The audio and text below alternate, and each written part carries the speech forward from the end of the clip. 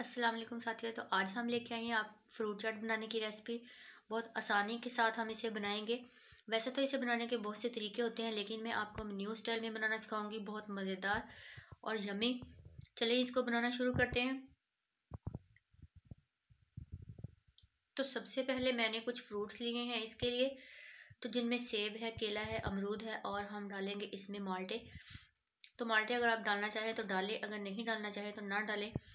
तो चलिए अब इसकी कटिंग करते हैं। सबसे पहले मैंने ये इसके छिलके उतार लेती हूँ केलों के। तो सारे छिलके उतार लिए, अब हम इसको ब्रीक ब्रीक काट लेंगे सबको।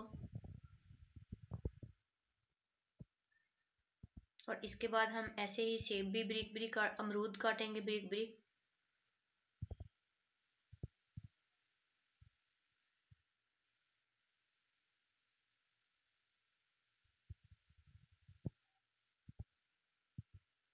तो अमरूद भी मैंने सारा ब्रीक ब्रीक काट लिया है। इसके बाद फिर हम मेरे पास है सेब सेब को हम काटेंगे।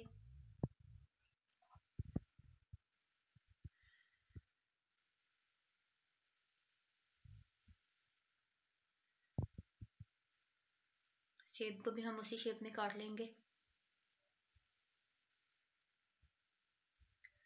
तो फिर सबसे एंड में मैं इसके अंदर डालूँगी माल्टा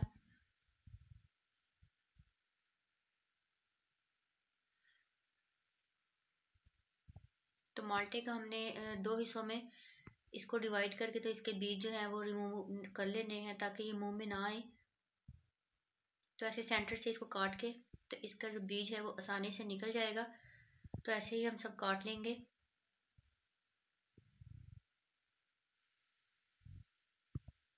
बहुत इसका अच्छा सा टेस्ट आएगा जूसी सा मुँह में।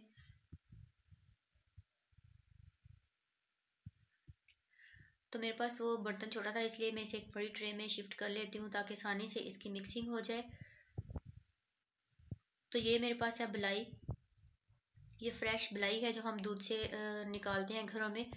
तो इसमें मैं चीनी शामिल कर लेती हूँ। बलाई को अपने चम्मच से अच्छी तरह से मिक्स कर लेना है और चीनी इसके अंदर डाल के मिक्स कर लेंगे ताकि चीनी जो है ये इसके अंदर मिक्स हो जाए। तो फिर इसको हमने डालना है ये फ्रूट्स के ऊपर। तो इसका इतना अच्छा टेस्ट आएगा कि जैसे हमने क्रीम ले ख़रीदते हैं ना बाज़ार से तो उससे भी ज़्यादा टेस्ट इसका अच्छा आएगा अगर आप ये डालेंगे। तो आप इसी से हमेशा डाल के बनाएँ।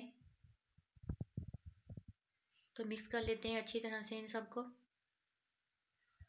और इसमें किसी भी चीज़ की डालने की ज़रूरत नहीं है, जैसे कि अक्सर लोग दूसरी चीज़ें डालते हैं, जामे, शीरी और भी जो चीज़ डालना चाहें। अगर आप इन्हीं चीज़ों से बनाएँगे तो इससे भी बहुत मज़ेदार बनेंगी। तो बस ये सारी मैंने मिक्स कर ली है। देखिए कितना अच्छा कलर है, इसका टेस्ट भी बहुत ही मज़ेदार है तो आप लाजमी ट्राई कीजिएगा। और मुझे कमेंट्स में बताइएगा मेरी रेसिपी